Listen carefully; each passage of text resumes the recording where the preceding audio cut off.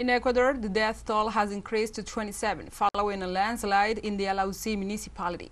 The Risk Management Secretariat reported that rescue teams are searching the missing people. The agency detailed that over a thousand people were affected by a landslide and that they were waiting for the government to provide them with assistance. Meanwhile, the prosecutor's office indicated that the bodies found will be handed over to the victims' families. According to local media, the authorities of Alausí municipality, with the support of the Red Cross, have set up four temporary shelters to provide care to the evacuees.